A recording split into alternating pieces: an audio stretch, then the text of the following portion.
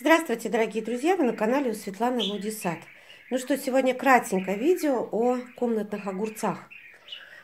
Кто со мной на канале, тот уже видит и знает, что видел и знает, что я сажала огурчики комнатные для раннего потребления. И меня ругают, что не говорю сроки. И вот огурцы комнатные посадила 20 февраля Всходы 22 февраля. 4 штуки. Огурцы комнатные. То есть 20 февраля это им сейчас, ну, буквально месяц, там еще несколько дней.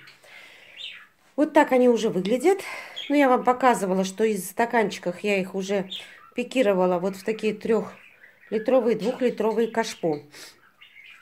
Что сказать? Ну, вот видите, сегодня разговор об ослеплении огурчиков. Это касается и этих комнатных огурчиков, и это касается вот таких огурцов, которые я посадила в дальнейшем тоже для раннего урожая, но эти будут высажены в теплицу. Это сорт Зазуля и сорт Мурашка. Зазуля, видите, на каких длинных ногах? А Мурашка вот такие вот, коротенькие. Вот так по-разному они растут.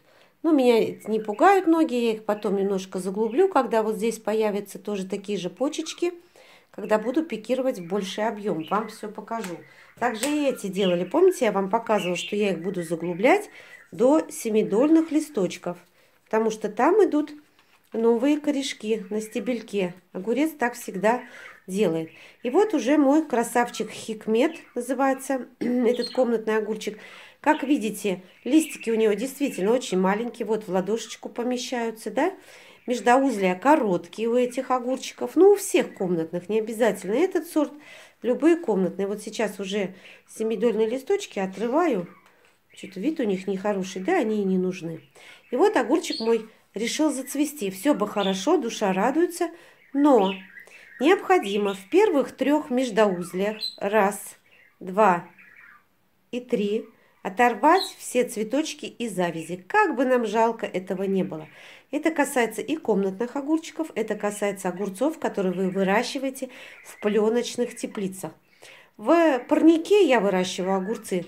Я этого вообще никогда не делаю. Но если вы в пленочных теплицах подвязываете огурчик, в трех первых пазухах листьев убираем все бутончики и соцветия. Здесь, видите, уже прямо с огурчиком.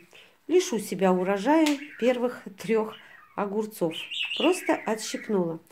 Это нам придаст силы огурцу, потому что, ну, совсем он коротенький, 15 сантиметров, и решил тут три огурца. Конечно, ему не вытянуть.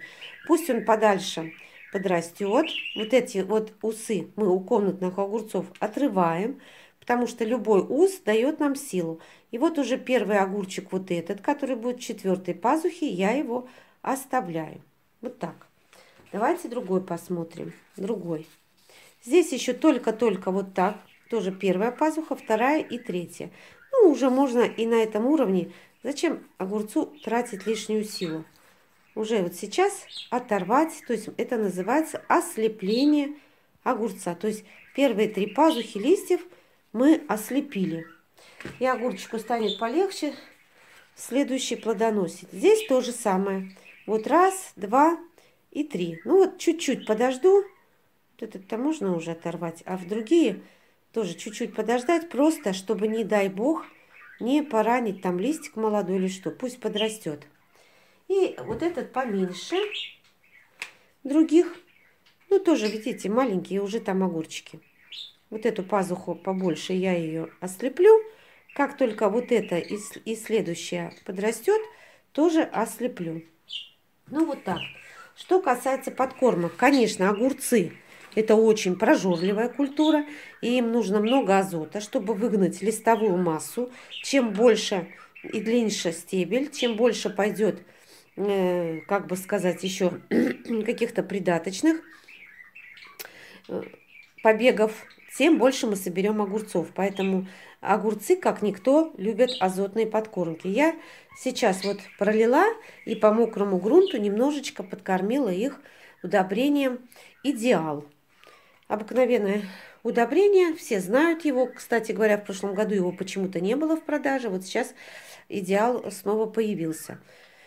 Можно любым, конечно, органическим удобрением. Коль скоро у нас зацветут и будут огурцы, ну уж химией там я пользоваться не буду. Любое биологическое удобрение, в принципе, универсальные тоже подойдут для огурца пожалуйста, тоже подойдут. И, конечно, я еще обрызгиваю по листьям. Вот этот единственный огурчик, как-то листик тут у меня стрессанул. Ну, пятнышки. Ну, ничего страшного. Остальные, видите, молодые, здоровые, чистые листочки. То есть по листьям прохожу микроэлементами. И можно даже по листьям дать какую-то азотную подкормку теми же биоудобрениями. Конечно, чередуем подкормки и кормлю раз в неделю не чаще. У меня потому что очень питательный грунт. Вот в этом грунте для огурцов я специально держала ведро и для этих огурцов, и для зазуль. Здесь э, перепревший конский навоз такой очень хороший, рыхлый, перегной с компостной кучи, ну, земля, соответственно, и торф. То есть уж очень богатый грунт, поэтому вот Органики даже много не надо. Раз в неделю этого предостаточно. Микроэлементы по листу, чтобы не было никаких хлорозов, чтобы, не дай бог, вот какая-то здесь бы не пошла полосочка по листу, что не хватает или магния, или калия, или кальция. То есть микроэлементы всегда даю. Ну, я всю рассаду микроэлементами по листу опрыскиваю, поэтому огурцам тоже перепадает. И еще огурцы любят хорошую достаточную влажность воздуха, что трудно поддержать в квартирах и комнатах, ну и в домах. Поэтому я их опрыскиваю чаще, чем любые другие культуры. Ну, просто чистой, но только очень теплой водой. Никогда огурцы не поливайте холодной Даже комнатная температура для огурцов это холодно. Вода пусть будет, ну, градусов там 30. То есть вот прям на ощупь она теплая.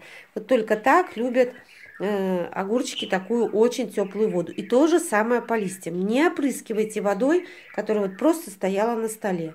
Чуть-чуть туда хотя бы кипяточка, чтобы водичка была чуть теплая. Вот только так любят огурцы. Ну, мои вроде развиваются хорошо. Вот эти стоят под хорошей лампой, биколоровской, фермеровской, э, от мини-фермера. Ну вот. И, но все равно, видите, зазуля всегда на таких Э, ножках, хотя и там даже и э, условия-то только 20 градусов. Для огурца может и попрохладнее, но я специально пока их держу, чтобы не сильно вытянулись. Но зазуля всегда так тянется, не обращайте на это внимания. Потом при пикировке, перевалке это все исправим. Лишь бы листики были чистые, потому что вот этот, например, видите, какой лист? Вот он мне не очень таким пропеллером пошел. Ну, посмотрю, как будет следующий развиваться. По-моему, все хорошо. Ну, вот такое коротенькое видео. Мало ли кто выращивает такие огурчики со мной. Или в дальнейшем, или только посадил. Но имейте в виду, что и в дальнейшем с любыми огурцами нужно провести ослепление трех первых пазух у огурчиков. Оторвать первые огурцы. Ну и вот этот вот будем ждать первого огурца. Дальше я вам буду показывать, следить как эти огурчики развиваются. Спасибо всем за внимание. Вы были на канале у Светланы Лодисад. Всего всем доброго.